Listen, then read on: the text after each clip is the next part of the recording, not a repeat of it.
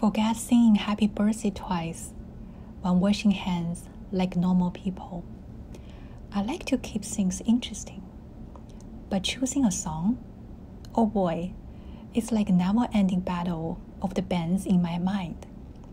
By the time I finally pick one, my hands are clean. And I've unintentionally started a post hand washing concert for myself. Germ free, that's me.